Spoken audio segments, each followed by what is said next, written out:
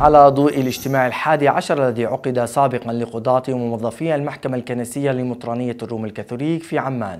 صرح الأب الأرشمندريت الدكتور بسام شحاتيت أن نتائج الاجتماع الذي حضره عدد من الأباء الكهنة والمحامين والموظفين أسفرت عن تطوير عمل المحكمة والتنظيم والتخطيط لها للمستقبل. بحيث تم عمل نسخ إلكترونية للقرارات الصادرة منذ تأسيس المحكمة وتصميم برنامج إلكتروني لتسجيل القضايا وأرشفتها إلكترونياً.